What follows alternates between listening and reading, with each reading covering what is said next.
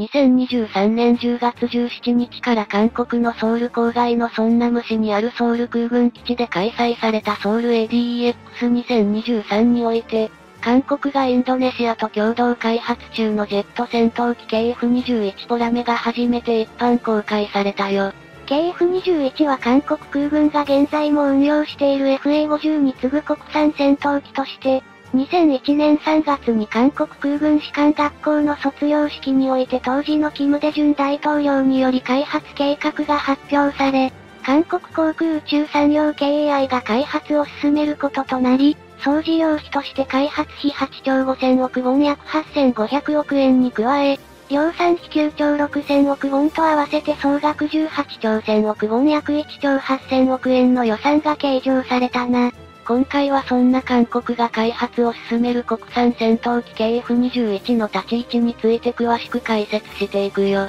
それじゃあ行ってみよう。ゆっくりしていってね。KF21 の開発計画にはインドネシアも参画することが決定され、開発費の分担は韓国政府が60%、KAI が20%、インドネシアが20%となり、インドネシアは約13億ドルを支払って、最大48機の KF21 を取得するほか製造技術移転を受ける予定だったけど、インドネシアは国内の防衛予算が制約を受けていることを理由に、分担金の約13%に当たる1億9000万ドルしか支払っておらず、韓国防衛事業庁によると2019年7月時点でインドネシアの分担金残額は2億5000万ドルとされていたよ。これに対してインドネシアは、インドネシアンエアロスペースがスペインと、共同生産した CN235 輸送機世界的には PTDI として知られているを韓国に提供するほか、天然ゴムなどの資源の現物納入によって補填することを申し出るなどして解決したと見られているね。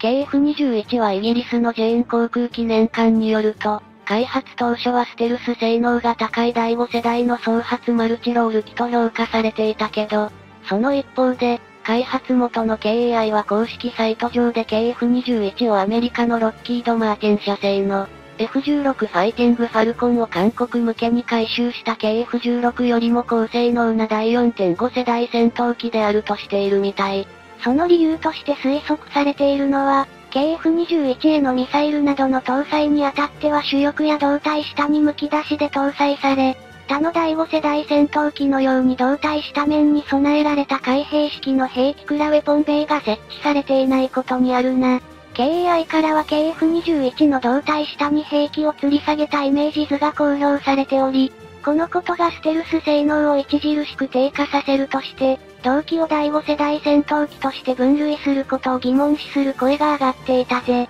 同機の外観はロッキード・マーティンが開発したアメリカ軍の第5世代戦闘機ステルス戦闘機 F22 ラプターや、F35 ライトニング2の外観によく似ているものの、このウェポンベイ非搭載であることによって、KAI では同機を第4.5世代戦闘機と称するより他なかったのであろうと見られているらしい。KF21 の諸元は全長16.9メートル全幅11.2メートル全高4.7メートル最大積載量 7700kg 最大離陸重量2万 5600kg とされ、ゼネラルエレクトリック GE のアフターバーナー付きターボファンエンジン F414 を2発搭載して、最高速度はマッハ1.81時速 2200km を発揮するというよ。KAI では KF21 について、国産の高性能かつ低コストとされるアクティブフェイズドアレイレーダーを含めた高性能のアビオニクスが搭載されるほか、電子戦装置 IRST データリンクなどが搭載され、運用要求においては、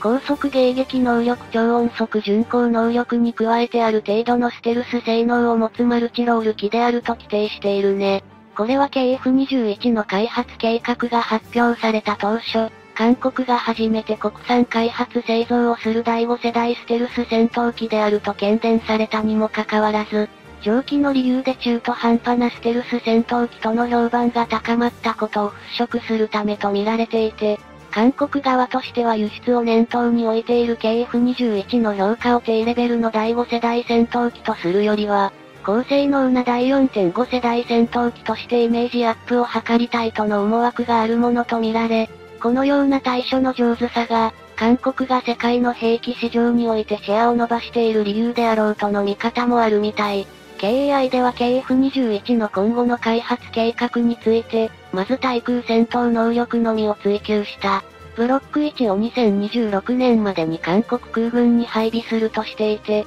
その間にセンサー能力などを向上させ対地対艦攻撃能力を有するブロック2の開発を進めて、さらにウェポンベイを搭載するなどの改修を施したブロック3の開発を進めていくものとみられ、ウェポンベイを搭載したブロック3の登場をもって KF21 を第5世代ステルスマルチロール機として世界にアピールするのではないかと見られているよ。ただ、KAI では現時点ではブロック3の登場がいつになるかについて具体的な計画は立っていないとしており、現時点においてはアメリカの NGAD Next Generation Air Dominance 計画や日本イギリスイタリア3カ国が共同開発を行っている。次期戦闘機にフランス、ドイツ、スペイン3カ国が共同開発を進めている FCAS Future Combat Air System など、世界の戦闘機開発の趨勢は第6世代とされる次世代戦闘機の開発に移っていることから、KF21 のブロック3もまた遅れてきた第5世代戦闘機と揶揄される可能性は否定できないな。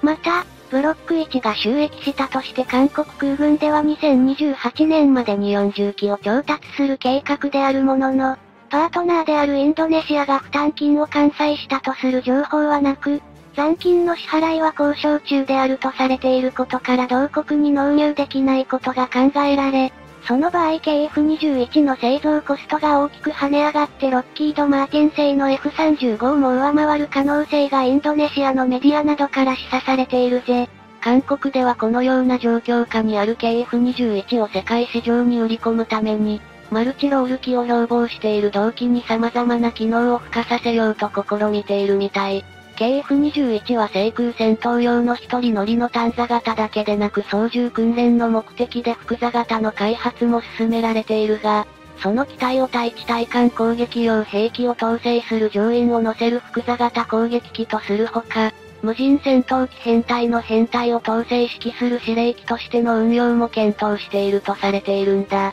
これは共同戦闘システムコラボレーティブコンバットシステムという名称で、無人機 UAV を用いておとりとして敵の目を欺いたり、電子戦や ISR 情報監視偵察に活用したりするほか、攻撃なども実施させ、その統制と指揮を KF21 複座型の功績の上院に実施させるというものだね。これらのことから、韓国側による KF21 の輸出戦略は同機の装備についてコンポーネント化することで、同機に興味を持つ国の要求に応えられるようにするものであるとみられ、韓国のこの兵器輸出における柔軟性はこれまでにも同国の兵器輸出の際に見られたものだよ。実際に KF21 に対しては UAE アラブ首長国連邦や、韓国からこれまでに多連装ロケット砲システム系2戦車軽級自走榴弾砲 FA50 戦闘機などを輸入してきた。ポーランドが興味を示しているとの情報もあり、韓国側の兵器輸出に対する設計変更や現地生産などへの柔軟性が評価されているものと見られているな。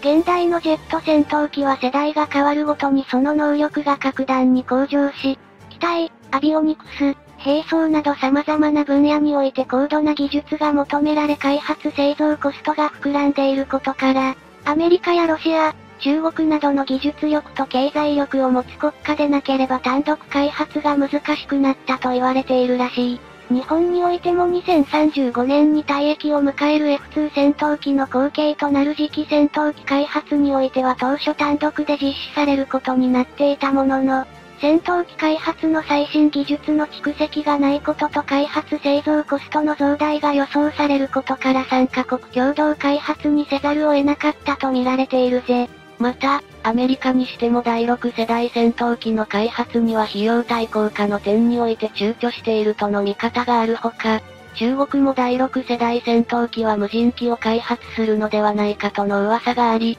韓国の KF21 のマーケティング戦略が注目を集めているね。それじゃあ今回はこの辺で、よかったら、チャンネル登録してね。